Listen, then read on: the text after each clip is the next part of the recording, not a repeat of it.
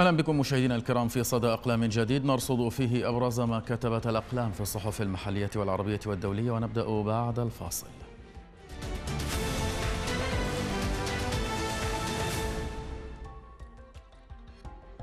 البداية من مقال الكاتب طارق الجبوري من موقع كتابات بعنوان ما الذي قدمته مجالس المحافظات. في وقت تجري فيه الاستعدادات لإجراء انتخابات مجالس المحافظات المزمع. إجراؤها في كانون أول المقبل. من حقنا كمواطنين أن نسأل ما الذي قدمته مجالس المحافظات سابقا وهل إعادة الحياة لها بعد قرار حلها. في 2019 استجابة لانتفاضة تشرين الخالدة. يسهم في إنصاف المحافظات. ومن المستفيد من إعادتها ولماذا؟ إن واقع حال الساحة العراقية يؤكد بما لا يقبل الشك بأنه من غير تغيير جذري لا يمكن توقع لا مجالس محافظات تلبي تطلعات المواطنين ولا مجلس نواب ولا حكومة ولا أي سلطة أخرى تكون بمستوى تضحية شعبنا وتعبر عن حد أدنى من مطالبه المشروعة وأولها عودة العراق معافى من سموم المحاصصاتية. التجربة السابقة لهذه المجالس سيئة لهذا طالب الشعب من خلال أبطال انتفاضة تشرين في 2019 بإلغائها. غير أن أحزاب السلطة وكما هي عادتها استسلمت في البداية ووافقت مرغمة على حل هذه المجالس ثم وبعد حوالي سنتين تقوم بحملة لإعادة هذه المجالس وبنفس الصيغة في تحد سافر لإرادة الشعب. لذلك فإن فرص المشاركة في انتخابات مجالس المحافظات ضعيفة جدا غير أنها ستعود بالتزوير لنسب المشاركة في الانتخابات ونتائجها على حد سواء. وكما قلنا فإن تجربة مجالس المحافظات بصيغتها المحاصصاتية وبرواتب أعضائها وامتيازاتهم فاشلة بكل المقاييس ولا يستطيع أي من أعضائها الادعاء بأنها قدمت أي خدمة للمحافظات.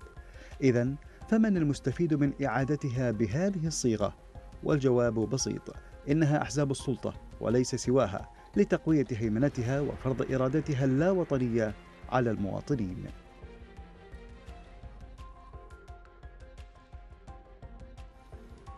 إلى مقال آخر للكاتب علي حسين يقول فيه هل يمكن لشخص يحكم بسلطات مطلقة أن ينجو من الفساد الذي تولده هذه السلطة المطلقة نفسها؟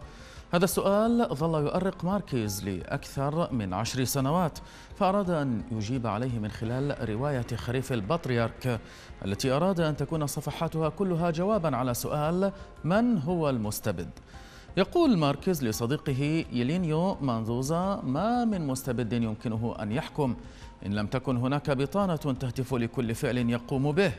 لا تنظر إليه إلا عبر صورة رسمتها له على رغم تناقضها الكلي مع صورته الحقيقية عند الناس. ويضيف الكاتب حاشية المسؤول أو السياسي لا تجد نفسها إلا وهي تدور حول فلك القائد الملهم. ويستبد بها الحماس أحيانا بأن تطالب باستنساخ هذا القائد.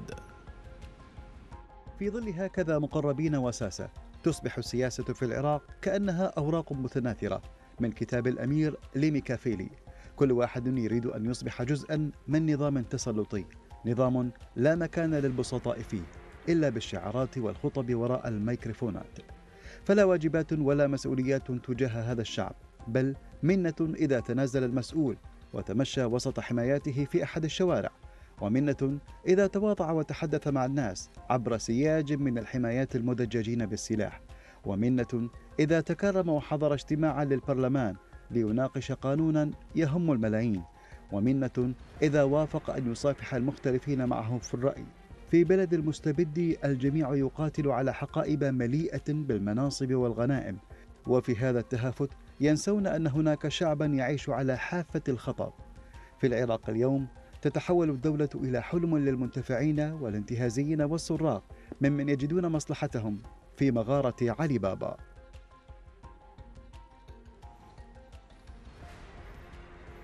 إلى مقال أو موقع صوت العراق ومقال موسع بعنوان سد الموصل وتحديات المستقبل المنظور للكاتب عادل جميل يقول فيه إن الهدف من كتابة سطور مقالي ليس لإثارة الفزع عند سكان وادي الرافدين بل لحث المسؤولين على توخي الحذر والتحسب لأسوأ السيناريوهات والتحلي بأقصى درجات المسؤولية الوطنية عند التعامل مع معضلة سد الموصل. ويضيف الكاتب لعل الفاجعة التي حصلت في ليبيا الجريحة تشكل ناقوس خطر لما هو متوقع حصوله في وادي الرافدين. وإن حصل لا سمح الله وانهار السد بعمل تخريبي أو غيره. عندها ستكون خسائر ليبيا الشقيقة مجرد بروفا لا تقارن بما يصيبنا من مصائب لا يتخيلها عقل أي أحد. مشكلة سد الموصل لا تكمن في طبيعة الأرض التي شيد عليها فقط بل هناك خلل بنيوي يعرفه الجميع. هو استخدام مادة الجص بدلا من الخرسانة المسلحة في أساسات السد. ومادة الجص سريعة الذوبان وتتطلب الحقن المستمر بمواد خرسانية لمنع التشققات المستمرة في جسم السد وخصوصا في أساساته. ولا أدري إن كان هذا خطأ مقصودا من قبل الشركات المصممة للسد. وقد تنبهت السلطات العراقية مطلع التسعينيات من القرن الماضي للخطأ البنيوي في تصميم سد الموصل وبدأت فعليا ببناء سد بادوش. وقد صمم هذا السد ليكون حين انتهائه بديلا عن سد الموصل المهدد بالانهيار. ولكن سرعان ما توقف العمل في هذا السد لأسباب اقتصادية معروفة. وهناك حقيقة مقلقة أخرى تبرز على السطح عند مقارنة الطاقة الاستيعابية لسد الموصل وسدود درنا وبمقارنة الطاقة الاستيعابية لسد الموصل التي تزيد على 11 مليار متر مكعب وأكرر مليار وليس مليونا كما هو القياس بالسدود الليبية أي أن حجم الكتلة المائية في سدود درنا لا تساوي سوى واحد بالألف من الكتلة المائية المحشورة في سد الموصل. ولك أن تتخيل هول الدمار المتوقع عند انهيار السد وانفلات المياه. نبقى مع الكاتب عادل جميل حول مخاوف انهيار السد الموصل حيث يقول لابد من التنويه بأن الخوف والهلع عند الكثير. من المهتمين أمر طبيعي ومشروع ومتوقع وخصوصا بعدما حل بليبيا الجريحة من كوارث سببتها سدود صغيرة. لا تقارن بسد الموصل العملاق إضافة إلى ما تقدم تجدر الإشارة بأن إجراءات الحكومة وتأكيداتها على سلامة السد لا تحظى بثقة عالية من قبل طبقة واسعة من أبناء الشعب العراقي الأبي. لذا على الجميع المعنيين العمل بما استطاعوا من قوة لطمأنة الناس والحفاظ على أرواح وممتلكات البشر.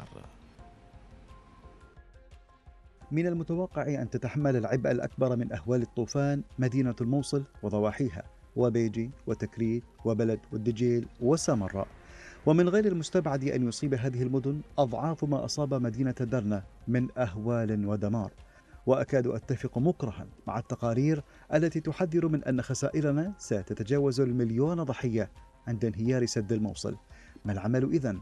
هل نردم السد؟ بالتأكيد هذا حل غير منطقي وغير مجد فعند ردمه سيتسبب في حدوث فيضانات عارمة كل شتاء وكل ربيع. ولتفادي المخاطر وتقليل الخسائر والبحث عن بدائل لابد للمشرع والمصمم من التمحيص بالمقترحات التالية. أولا يتوجب خفض مناسيب المياه في سد الموصل إلى أقل من النصف أو الربع خصوصا في موسم الأمطار وذوبان الجليد تحوطا لما تسببه الكتل المائية الحبيسة من ثقل هائل ربما يؤدي إلى تشققات وتصدعات غير محسوبة يصعب السيطرة عليها. ثانيا لأن سد الموصل أصبح هدفا مغريا لأعداء العراق من إرهابيين ومرتزقة.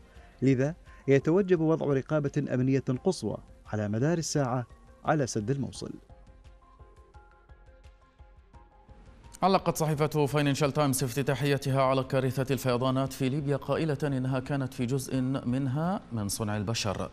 ودعت القوى الغربية لدعم جهود تحقيق الاستقرار في هذا البلد فعندما تقدم إعصار دانيال فوق البحر المتوسط باتجاه الساحل الشرقي لليبيا كان لدى المسؤولين المحليين العديد من التحذيرات فقبل أيام تسبب الإعصار بفيضانات في اليونان وتركيا وبلغاريا وغرق فيها أعداد كبيرة من الناس. وفي ليبيا لم يكن أحد مستعدا لحجم الكارثة التي كانت على وشك الوقوع. ففي الوقت الذي سقطت فيه الأمطار الغزيرة وهبت الرياح العاصفة على المنطقة انهار سدان على التلال فوق درنة وقذفا بالسيول التي اخترقت قلب المدينة. ولا يعرف إلى الآن العدد الحقيقي للضحايا. الكارثة كانت ستشكل تحديا لأية دولة. أما ليبيا فلا دولة فاعلة فيها بل فصائل سياسية متنافسة فاسدة بشكل لا يصدق. وتدعمها ميليشيات مسلحة وأدت في العقد الماضي لانقسام البلد بين الشرق والغرب. وعليهم تحمل المسؤولية الأكبر عن المأساة التي وقعت على الليبيين الذين يعانون منذ وقت طويل. وقد حصل الضرر الأكبر بسبب انهيار السدين اللذين كانا في وضع متهالك وبحاجة لصيانة جذرية. وحذر الخبراء لوقت من المخاطر التي يمثلها السدان لو لم يتم النظر فيهما وصيانتهما. وقبل عامين حذر تقرير من وكالة الرقابة في الدولة من أن الصيانة لم تحصل رغم تلقي السلطات المحلية مليوني دولار في الفترة ما بين 2012 و 2013 للقيام بالأعمال اللازمة.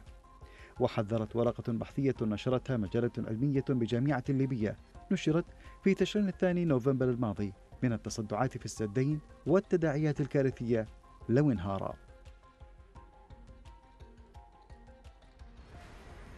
الآن نتابع وإياكم الكاريكاتير.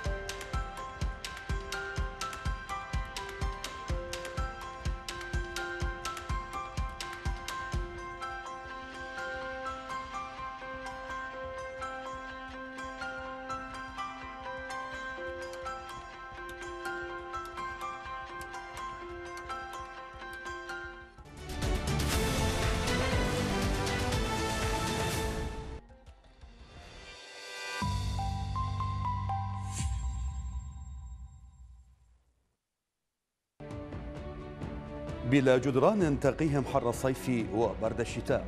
أخرجوا من ديارهم غائبون لا صوت لهم. وبلدهم يطفو على بحر من النفط تصارع أكفهم قسوة الحياة.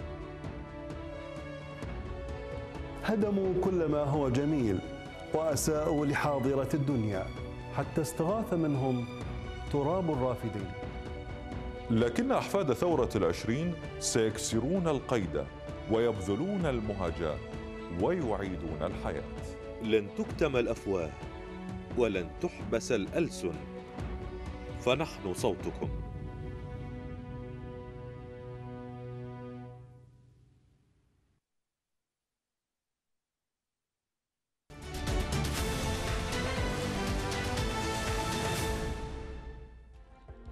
أعلنت جوجل أن برنامجها بارد القائم على الذكاء الاصطناعي بات يستطيع الاتصال بخدمات أخرى توفرها الشركة كالبريد الإلكتروني ويوتيوب والخرائط. في خطوة جديدة ضمن تسابق شركات التكنولوجيا في هذا المجال.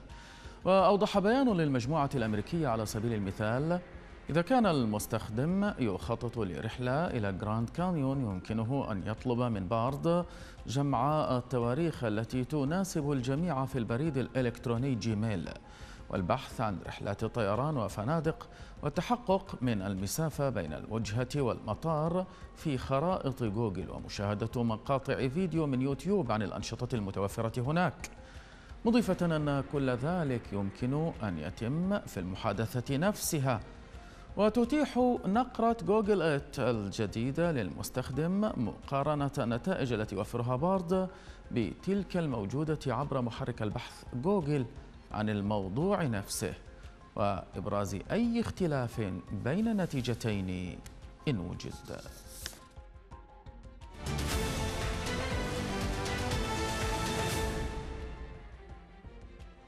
حذرت دراسة سويسرية من أن التخلي عن تناول الشوكولاتة قد يسبب حدوث مضاعفات صحية غير محمودة.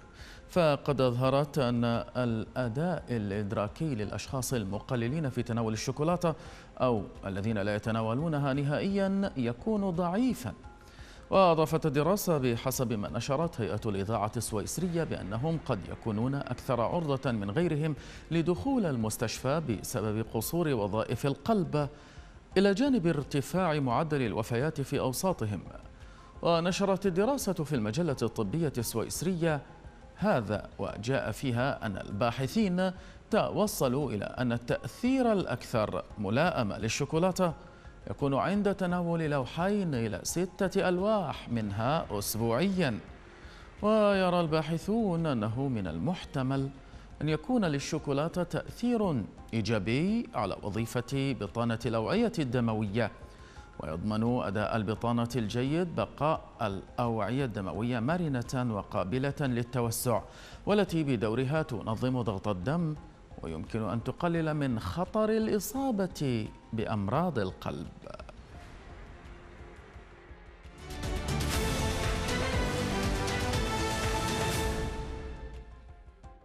من يعلم فكل شيء جائز. الآن نتابع وإياكم فيديو اليوم الذي اخترناه لكم من مواقع الصحف. اختاروا دانيال. من هو؟ من هو؟ هو نبي عبري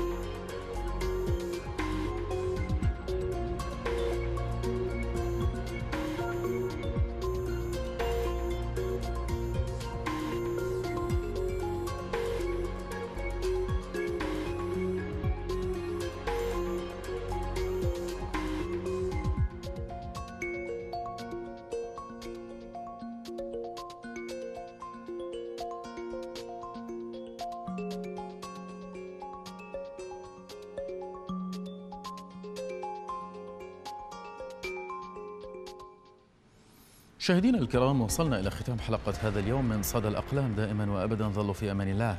إلى اللقاء.